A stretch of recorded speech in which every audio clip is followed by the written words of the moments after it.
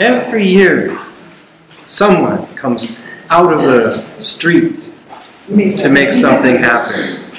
Are there, who are the poets here that have not read yet and want to read? One, two, three, four. Jackie? Yes, she's shaking her head. Um, all right. What I'd like to do is call up the procession of poets who have not read, and then you are next. So there are five, five poets we have not heard from yet. Um, Liz, do you want to come up? Introduce yourself.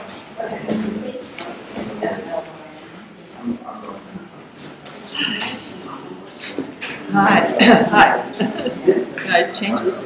Hi, I'm Elizabeth Stanley. Do I need the mic? I don't think I need the mic, do I? All right. Okay, okay. I'll be, okay.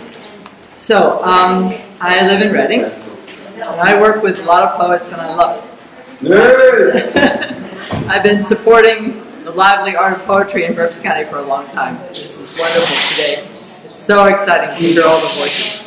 So exciting. so uh, I'm going to start with a poem by myself, by Elizabeth, and end with a poem by Maya, since we're also in tribute to Maya Angelou. Thank you, Monet, for setting that up. you know, we are at war. Again. How did that happen? You're kidding. We are at war. Again. We are at war continually. You're kidding.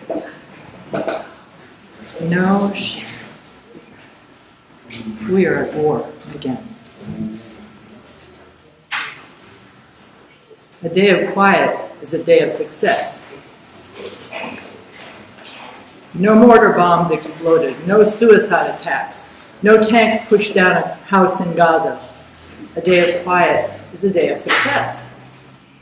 No improvised explosive devices went off, no rifle fired, no armored Humvee burst into flames.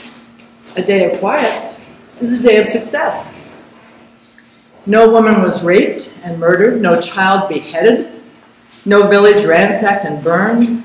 A day of quiet is a day of success. No drug deal went bad, no pusher betrayed his mark, no sidewalk oozed and bled. A day of quiet is a day of success.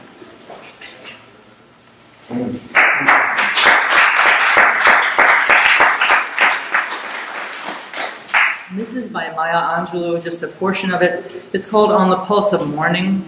It's a poem that she read at the inauguration of William Jefferson Clinton, the 20th of January, 1993. I won't read the whole thing, I'll just read an excerpt. It's about a rock, a river, and a tree. How many of you heard this when she read it in 1993? All right, good.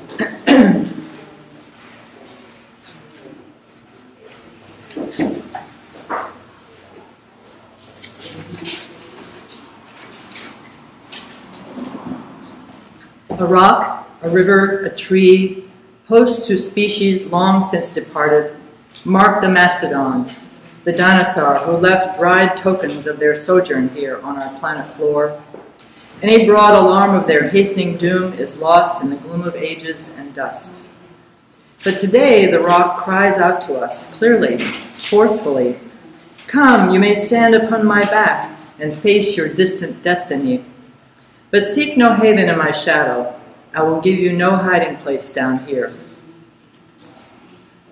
Across the wall of the world, a river sings a beautiful song. It says, Come, rest here by my side.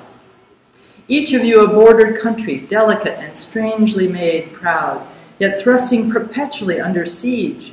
Your armed conflicts, your armed struggles for profit have left collars of waste upon my shore, currents of debris upon my breast. Yet today I call you to my riverside, if you will study war no more. Come clad in peace. And I will sing the songs the Creator gave to me when I and the tree and the rock were one. Before cynicism was a bloody sear across your brow, and when you yet knew you still knew nothing, the river sang and sings on.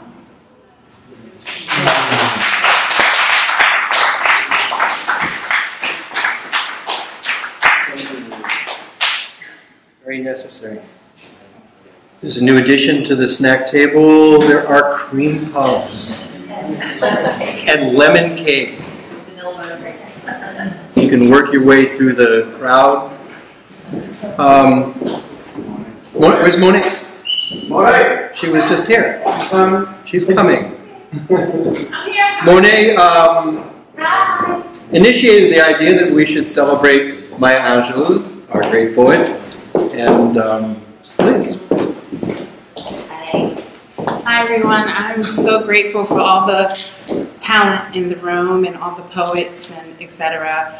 Um, actually, I was going to read Phenomenal Woman um, by request. However, I looked it up, started reading it to recite it, and I looked in the room, and the first thing, next thing I saw was Miss Christine Mitchell.